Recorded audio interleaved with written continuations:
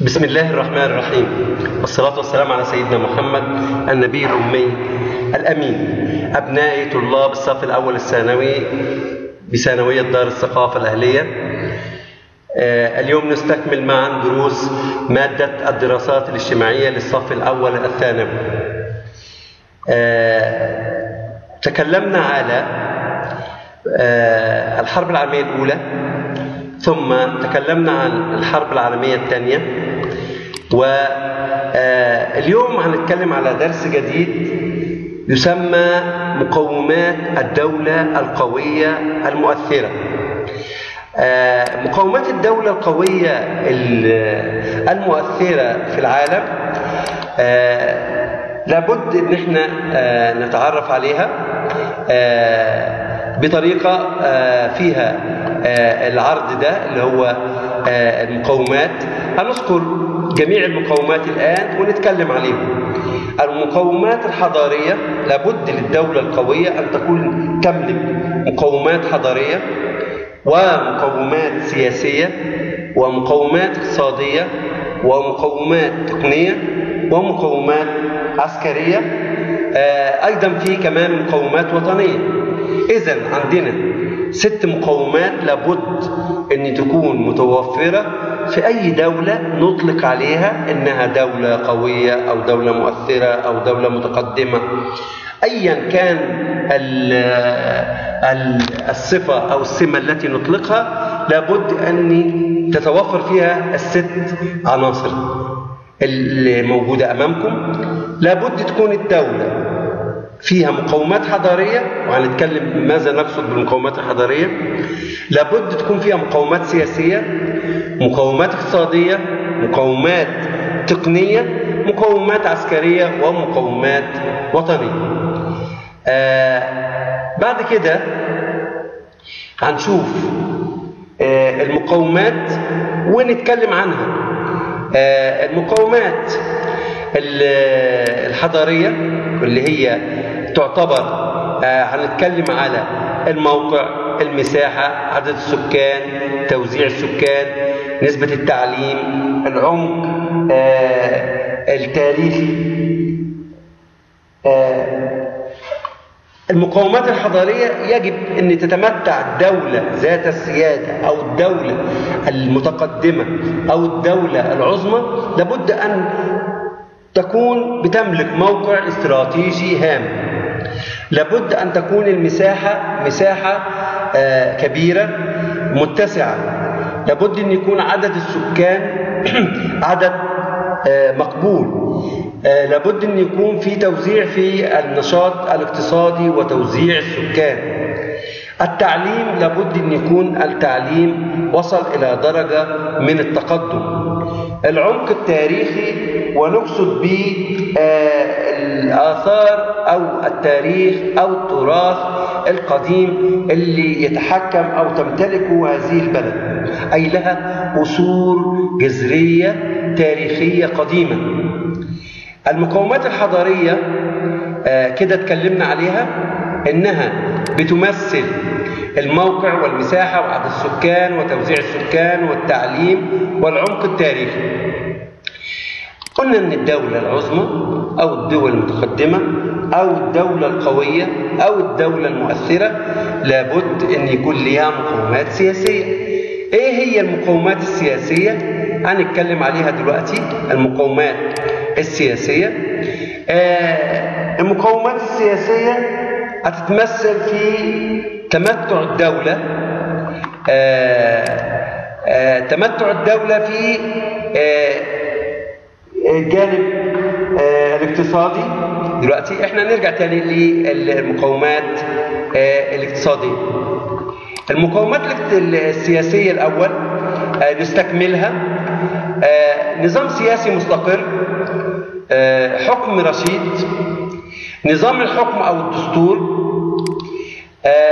نرجع تاني إلى المقومات السياسية. نتكلم عليها. أدي المقومات الاقتصادية لسه إحنا هنبتدي نتكلم عليها بعد ما نخلص المقومات الحضارية. قلنا المقومات الحضارية خلاص الموقع المساحة عدد السكان توزيع السكان التعليم العمق التاريخي.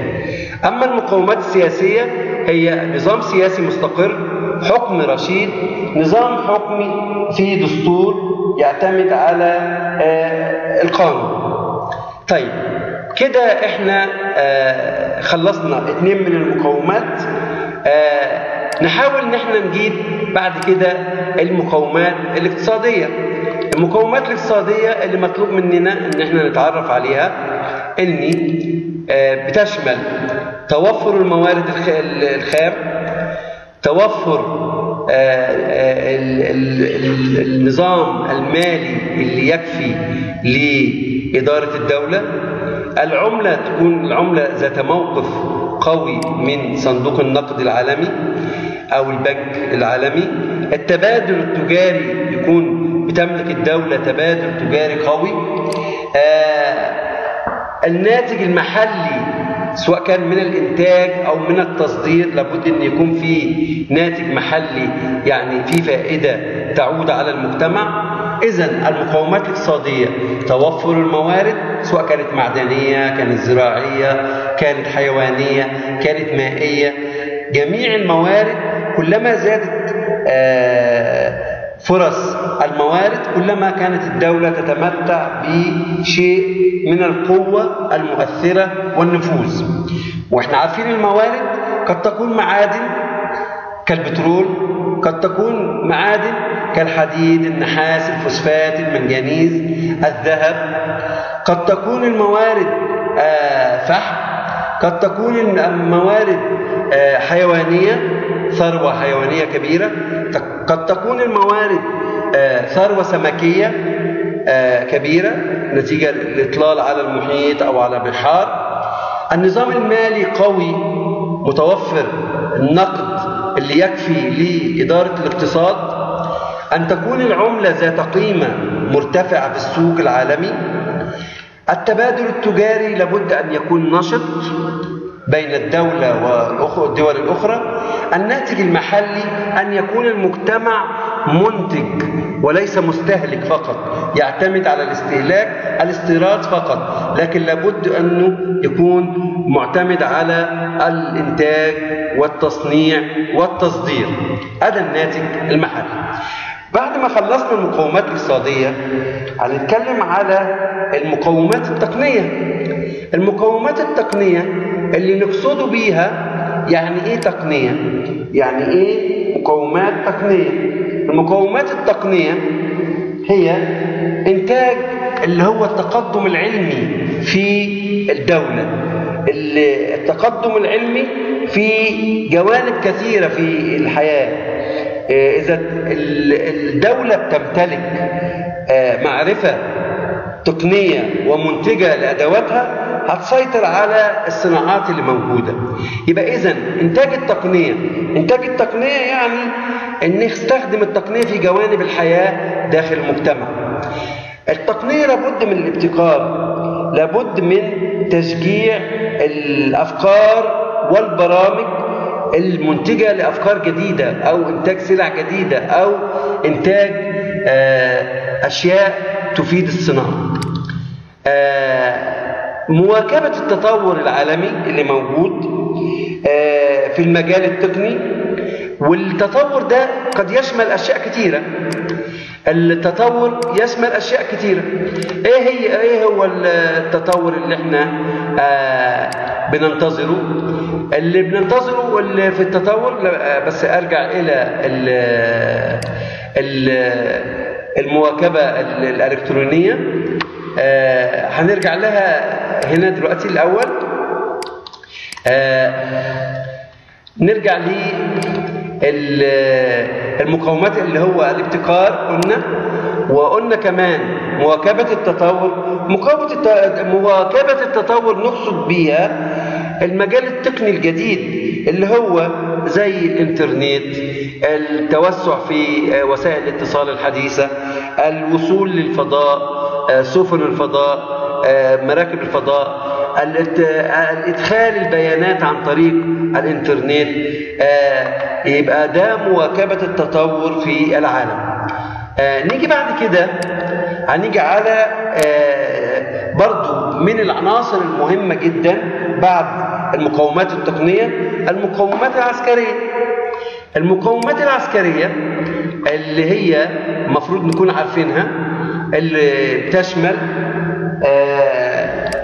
أول حاجة القدرات طبعا العسكرية في التصنيع بجميع أنواعها قدرة الدولة على تصنيع الأسلحة بجميع أنواعها ونقصد التصنيع في جميع المجالات سواء كالبرية أو الجوية أو البحرية. آه إذا برية أو بحرية أو جوية نقصد كمان بالمقومات غير التصنيع التدريب مواكبة العلوم العسكرية الحديثة بالتدريب وامتلاك الأسلحة الحديثة.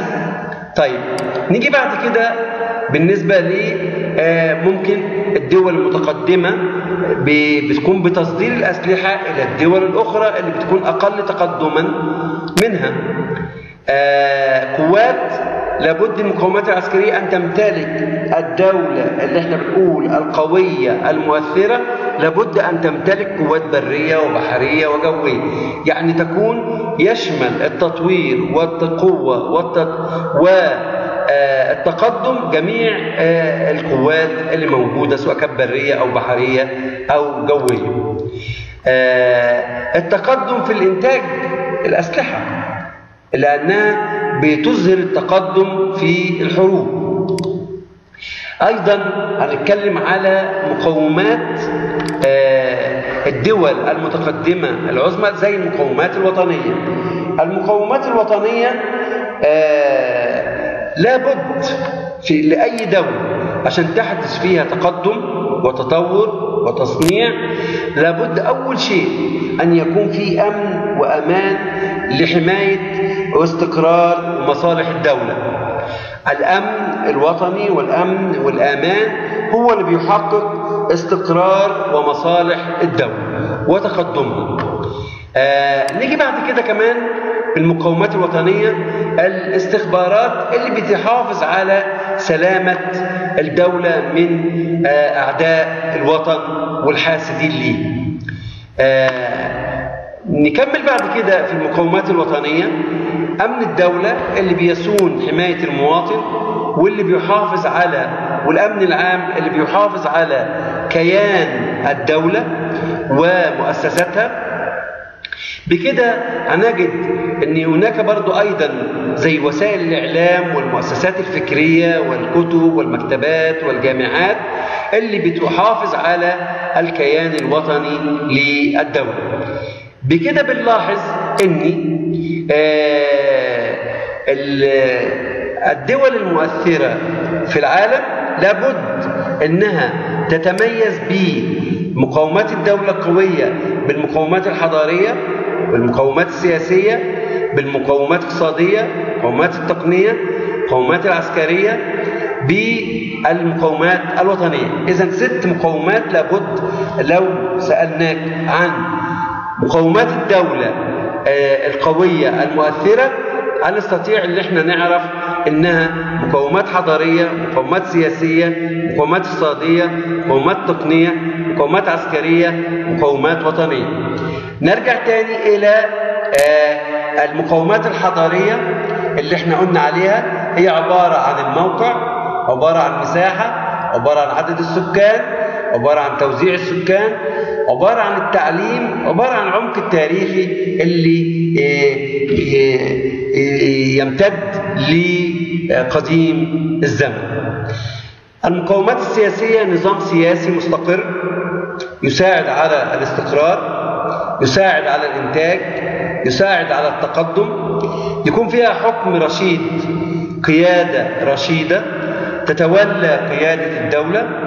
نظام الحكم أو الدستور هو اللي بيساعد على تقدم الدولة.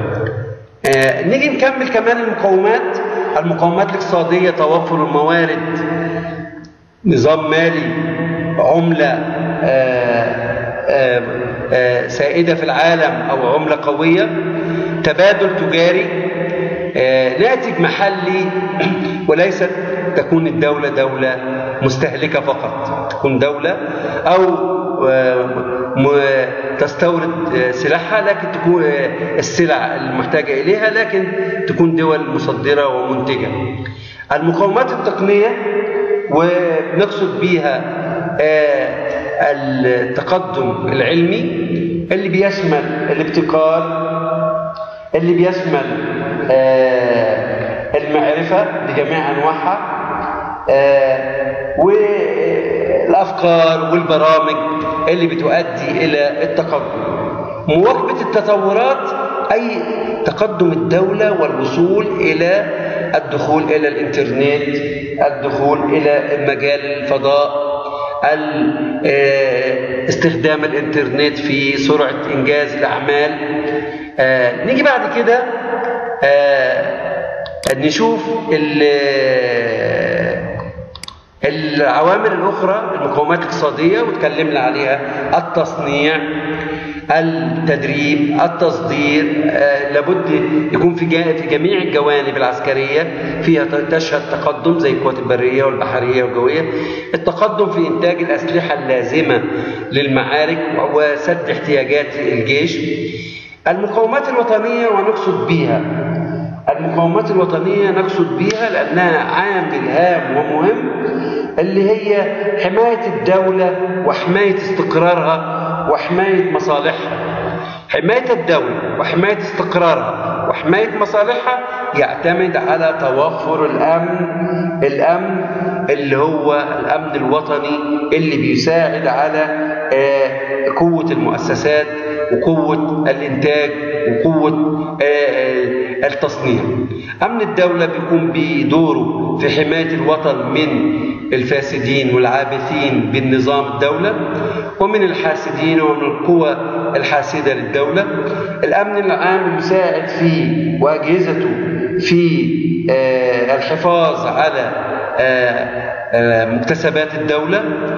أيضا المؤسسات الفكرية واللي بتشمل الإذاعة والإعلام والجامعات اللي بتساعد في نشر الأفكار الإيجابية لحماية الدولة من أي أفكار سلبية.